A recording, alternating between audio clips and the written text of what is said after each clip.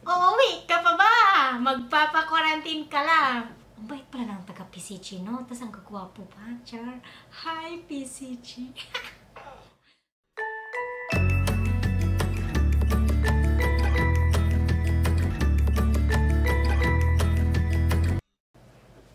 Hello mga ka-gems! Welcome to my YouTube channel. And yeah, it has been a while since nakapag-vlog ako. And this vlog is about my travel history from Florida to Cebu. So, nasa Cebu na ako. Nasa hotel na ako. Ang ganda ng hotel. Kung walang COVID, hindi ako magkapag-hotel. Maganda pala nga. Sosyalin yung hotel ko. Ako lang isa dito. Kasi nga, it's required for self-isolation. So, dili pwede duha. So, isa lang. So, I can do whatever I want. So, May 21, I depart, departed. Basta, umalis ako. umalis ako ng Fort Lauderdale, Florida, May 21, papuntang Los Angeles, California. From Los Angeles, California to Manila. Uh, pagdating namin sa Manila, we are um we arrived 3:45 a.m. 14 hours yung biyahe. And then, daming pinirmahan.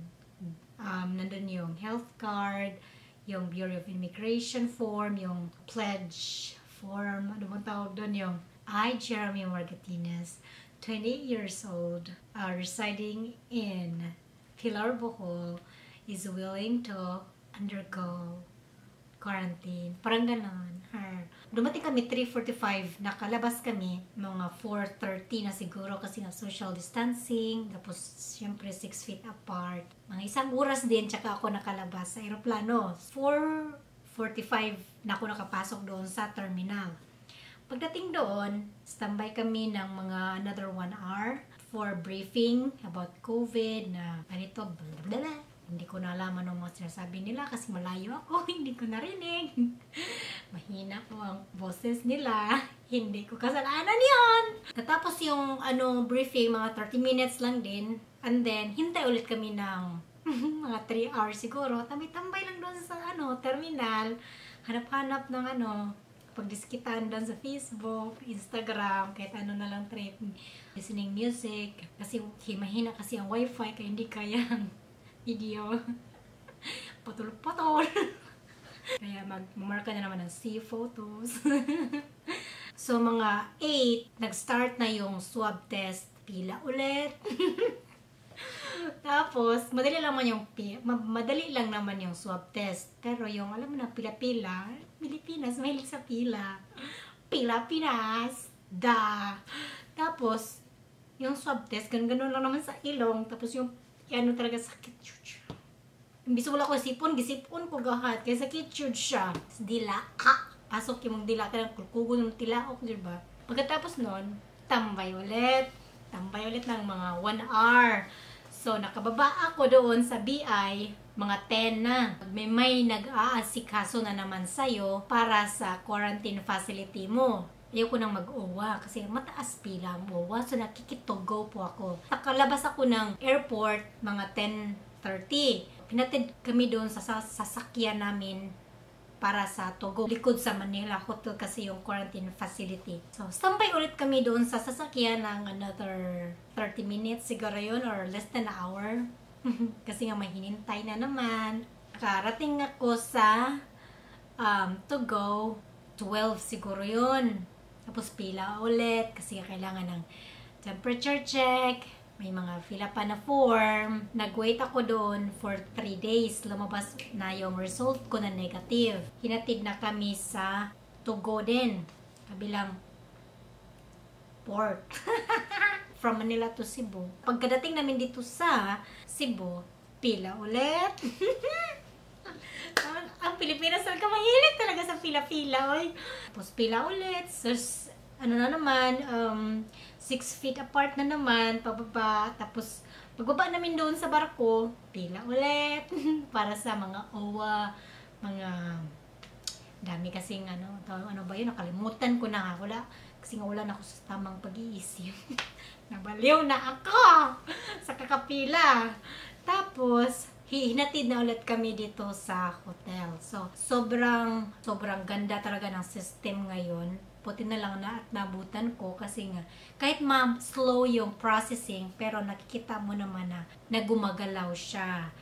Hindi man yung ganun yung pamalakad ba. Pero at least, safe kami na nakarating sa Cebu. Yun yung pinakamaganda. Then, pina-hotel pa kami ng sobrang ganda. Char! Tapos, tingnan mo ah. I love it. So, masaya ako. Safe naman. Dami nagreklamo. Huwag na lang silang umuwi kung magreklamo. So, dito na ako sa Cebu. So, ngayon, uwi ako ng Bohol. Hindi pa ako makaka-uwi. Kasi nga, maghihintay pa daw ako sa taga LGU na kukunin, para kukunin ako dito sa Cebu o doon sa Tagbilaran. Hindi ko alam. Magstay daw kami dito for 3 to 5 days. Depende kung gaano kabilis daw yung ano ng LGU response. So, kung kukunin daw ako ng taga LGU dito, siguro ipaprocess siguro yung pagkakakulong kulit dito sa sa Quest Hotel.